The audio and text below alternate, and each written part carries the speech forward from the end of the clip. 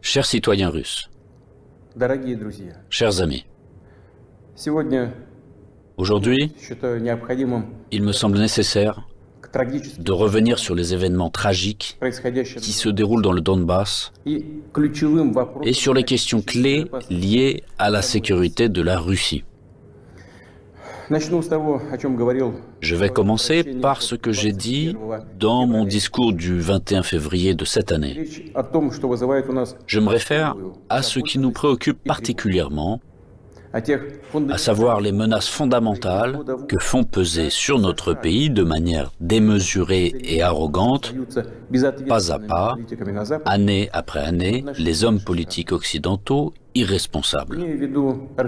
Il s'agit de l'expansion de l'OTAN vers l'Est, du fait que ces infrastructures militaires s'approchent des frontières de la Russie. On sait très bien que depuis 30 ans, nous nous efforçons, avec persistance et patience, de parvenir à un accord avec les principaux pays de l'OTAN sur les principes de sécurité égale et indivisible en Europe. En réponse à nos propositions, ça n'a toujours été que soit des tromperies et des mensonges cyniques, ou des tentatives de pression et de chantage, alors que l'Alliance Atlantique, malgré toutes nos protestations et préoccupations, ne cesse de s'élargir. La machine de guerre est en marche. Et, je le répète, elle s'approche très près de nos frontières. Pourquoi tout cela arrive-t-il? Pourquoi cette attitude arrogante consistant à parler dans l'optique de sa propre exclusivité, infaillibilité et permissivité? D'où vient cette attitude indifférente et dédaigneuse à l'égard de nos intérêts et de nos demandes absolument légitimes? La réponse est claire. Tout est clair et évident.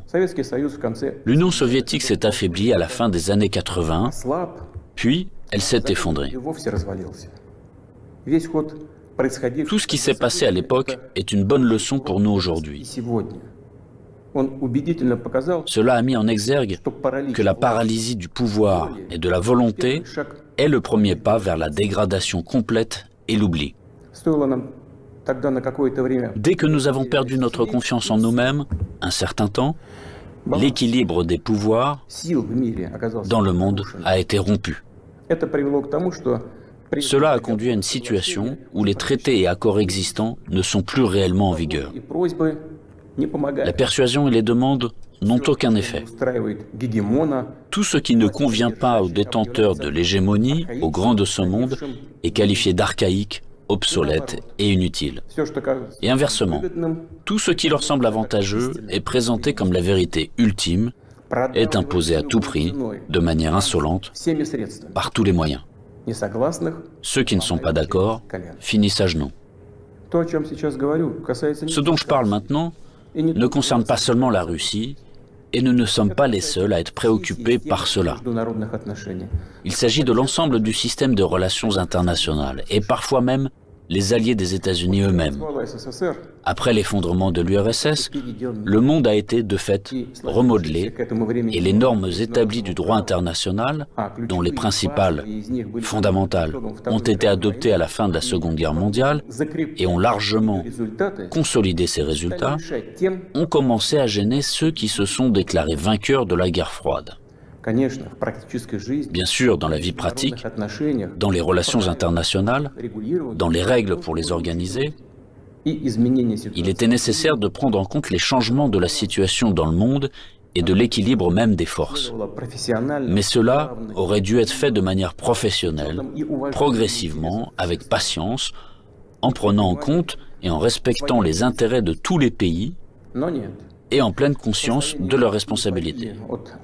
Or non, en raison de l'euphorie due à la supériorité absolue, d'une sorte de forme moderne d'absolutisme, et dans le contexte d'un faible niveau de culture générale et de fatuité de ceux qui ont préparé, pris et promu des décisions qui étaient rentables uniquement pour eux-mêmes, la situation a pris une tournure différente.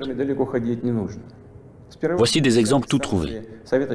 Tout d'abord, sans aucune autorisation du Conseil de sécurité de l'ONU, ils ont mené une opération militaire sanglante contre Belgrade. Ils ont utilisé des avions, des missiles en plein cœur de l'Europe. Plusieurs semaines de bombardements continus sur des villes pacifiques, sur des infrastructures vitales. Il est nécessaire de rappeler ces faits, car certains collègues occidentaux n'aiment pas se souvenir de ces événements. Et quand nous en parlons, ils préfèrent faire référence non pas aux normes du droit international, mais aux circonstances qu'ils interprètent comme ils l'estiment nécessaires. Puis est venu le tour de l'Irak, de la Libye et de la Syrie.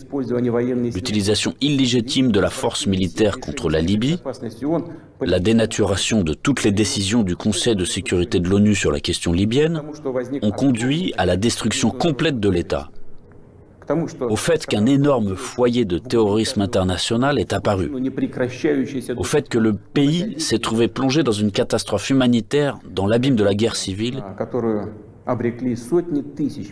qui a duré plusieurs années et se poursuit encore, la tragédie à laquelle des centaines de milliers, des millions de personnes ont été condamnées, non seulement en Libye, mais dans toute cette région, a provoqué un exode migratoire massif de l'Afrique du Nord et du Moyen-Orient vers l'Europe.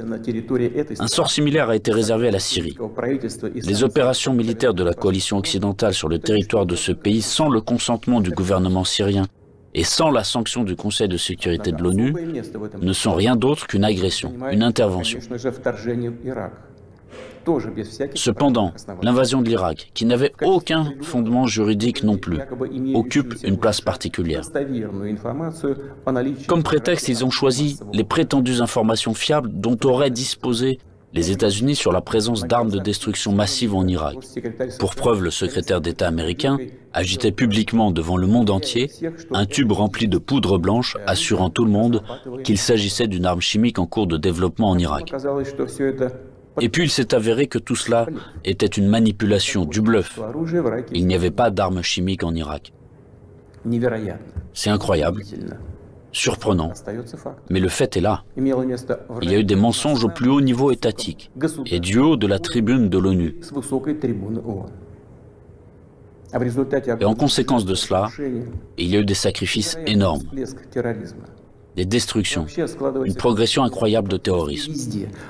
En fait, on a l'impression que pratiquement partout, dans de nombreuses régions dans le monde, là où l'Occident vient mettre en place son ordre, cela se termine en blessures sanglantes qui ne cicatrisent pas, en plaies que sont le terrorisme international et l'extrémisme. Tout ce que j'ai évoqué en est l'exemple le plus flagrant, mais ce n'est en aucun cas le seul exemple du mépris du droit international. S'ajoutent à cela les promesses faites à notre pays de ne pas étendre l'OTAN d'un pouce vers l'Est. Je le répète, ils ont menti, ou en termes populaires, ils nous ont tout simplement arnaqués. Oui, on entend souvent dire que la politique est quelque chose de sale. Peut-être. Mais quand même pas à ce niveau-là. Après tout, un tel comportement de tricheur contredit non seulement les principes des relations internationales, mais surtout les normes de moralité et d'éthique généralement reconnues. Où sont la justice et la vérité ici? Ce ne sont que des mensonges et de l'hypocrisie. Par ailleurs, des hommes politiques, des politologues et des journalistes américains eux-mêmes écrivent et parlent du fait qu'un véritable empire du mensonge a été créé aux États-Unis ces dernières années. Difficile de ne pas être d'accord avec ça, c'est ainsi. Mais il ne faut pas jouer les modestes. Les États-Unis restent un grand pays, une puissance avec un rôle moteur. Tous leurs satellites non seulement leur donnent raison, avec résignation et humilité, ils se joignent à leur rhétorique pour n'importe quelle raison, mais ils copient également leur comportement. Ils acceptent avec enthousiasme les règles proposées.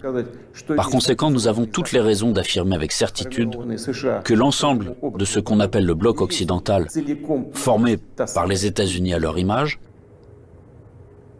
est dans cet ensemble cet empire du mensonge.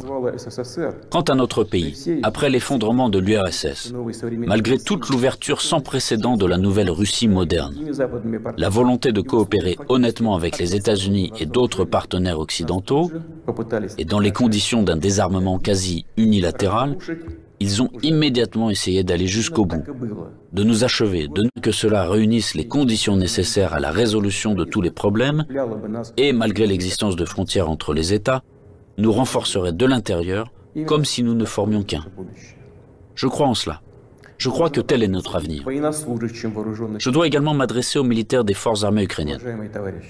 Chers camarades, ce n'est pas pour que les néo-nazis d'aujourd'hui prennent le pouvoir en Ukraine que vos pères vos grands-pères, vos arrière-grands-pères se sont battus contre les nazis en défendant notre patrie commune. Vous avez prêté serment d'allégeance au peuple ukrainien et non à la junte hostile au peuple qui pille l'Ukraine et persécute ce même peuple. Ne suivez pas ces ordres criminels. Je vous exhorte à déposer les armes immédiatement et à rentrer chez vous. Je tiens à le préciser. Tous les militaires de l'armée ukrainienne qui obéissent à cette exigence pourront librement quitter la zone des hostilités et retourner auprès de leur famille. Une fois de plus, j'insiste fortement. Toute responsabilité pour une éventuelle effusion de sang reposera entièrement sur la conscience du régime au pouvoir sur le territoire de l'Ukraine. Maintenant, quelques mots importants très important pour ceux qui seraient tentés de s'ingérer dans les événements en cours. Quiconque essaiera d'interférer contre nous, et plus encore de créer des menaces pour notre pays, pour notre peuple, doit savoir que la réponse de la Russie sera immédiate et mènera à des conséquences auxquelles vous n'avez jamais fait face dans votre histoire. Nous sommes prêts à n'importe quelle évolution de la situation. Toutes les décisions nécessaires à cet égard ont été prises. J'espère être entendu. Chers citoyens russes, l'existence même d'États et de peuples entiers, leur succès, leur viabilité, trouvent toujours leur origine dans le puissant système des racines englobant leur culture et leurs valeurs l'expérience et les traditions de leurs ancêtres, et bien sûr, dépendent directement de la capacité à s'adapter rapidement à une vie en constante évolution, de la cohésion de la société, de sa volonté de se consolider, de rassembler toutes les forces pour aller de l'avant. Les forces sont toujours nécessaires, toujours, mais la force peut être de qualités diverses. La politique de l'empire du mensonge que j'ai évoquée au début de mon intervention repose avant tout sur la force brutale et directe. Dans de telles situations, nous disons, quand il y a de la force, pas besoin d'avoir quelque chose dans la tête. Or, nous savons que la vraie force réside dans la justice et la vérité, qui sont de notre côté. Et s'il en est ainsi, alors il est difficile de ne pas être d'accord avec le fait que c'est la force et la volonté de se battre qui sont les fondements de l'indépendance et de la souveraineté, les fondations nécessaires et uniquement sur lesquelles on peut construire son avenir de manière fiable, construire sa maison, fonder sa famille, sa patrie. Chers compatriotes, je suis convaincu que les soldats et les officiers des forces armées russes fidèles à leur pays accompliront leur devoir avec professionnalisme et courage.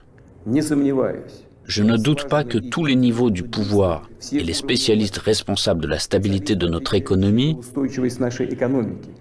du système financier et du domaine social, ainsi que les dirigeants de nos entreprises et tous les milieux d'affaires russes travailleront d'une manière harmonieuse et efficace.